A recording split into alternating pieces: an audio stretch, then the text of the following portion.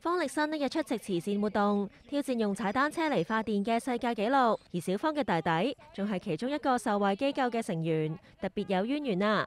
小方話自己踩單車唔叻，偶尔都會揸電單車。不過踏入二零二三年，佢話要遠離兩個轆啊！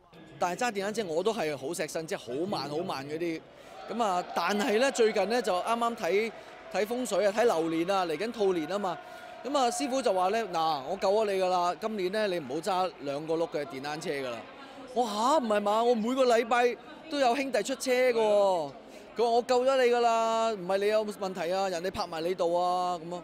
唉，所以我諗，我諗都係攞嚟擺噶啦，今年架車。誒，即係唔會，即係聽師傅講唔會，即係少揸啦。我諗真係會好少喎，我諗即係我諗都喺屋苑附近兜下圈，充下電咁就算噶啦。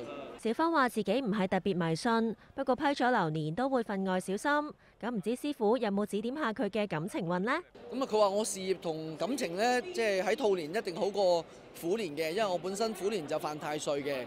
咁跟住佢就都有佢有講喎，佢話：唉，你你你哋唔信我啦。佢話：唉，你呢幾年都係感情都冇着落啊。嚟緊呢，就兔年呢，有多啲機會啦，一兔年呢，對你呢係好年嚟嘅，無論即係即係事業啦、財運啦，同埋即係感情咧都會都會好噶啦。咁佢有講喎，佢話咧應該咧係 within 五年之內嘅，可能大過你，可能細過你，五歲之內啦。咁就係就係誒，即係有機會咁樣咯。早前阿 Bob 林盛斌作客小方嘅節目，追問女主持要挑選一夜情對象，由小方大熱勝出，似乎桃花運真係擋都擋唔住。佢就話只係節目效果，自己唔會當真啊！唉，嗰個阿 Bob 係亂嚟嘅啫，佢係嘛？佢借啲意就中意講啲見到後生咁啊，講啲大家都即係有啲味嘅話題咁樣咯。